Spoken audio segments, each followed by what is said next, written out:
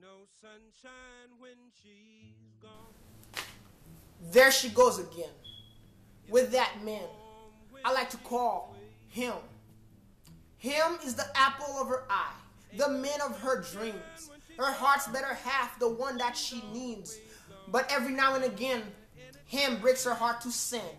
And that's when I come in with the broom and the pen, sweep up all that I can, then with my surgical hands, get her heart to mend, then tend to her demand, just to end the tears of a friend.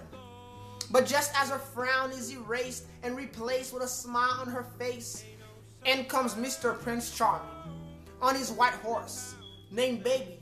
I'm sorry.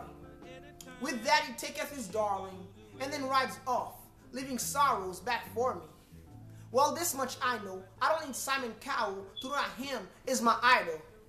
Why don't I learn very fast? Because the ghost of events past told me nice guys finish last, but I just ignored the facts. How could she appreciate my presence when I'm always there? How could she value my love's essence when I always care? A woman's heart must be a lock that can never be opened. So the only way to enter is to render her heart broken. So she's addicted to heartbreak, which I can't provide. But how much damage could her heart take till it can't survive?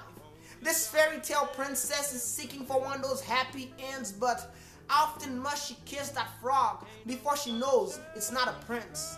She's so occupied with trying to find her happy ending that she fails to realize that her happy is ending. So slowly this fairy tale is becoming a scary tale. And I think she needs a hero's help to maybe save her from herself. Too bad I'm not Superman, but I am a superman.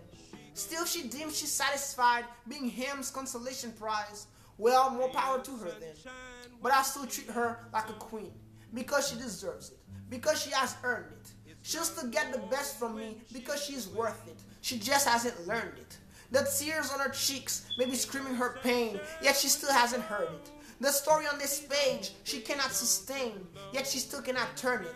The bridge back to his arms may drive her insane, yet she still cannot burn it.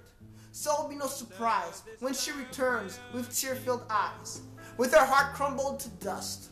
But I'll be there for the sweep, though I know that it won't sweep weeping beauty off her feet. I'll still be there to care and listen, even as she complains that no man's ever there to care or listen. I'll be the loving that she lacks, till I'm sorry comes trotting back. Then there she'll go again, with that man I like to call him.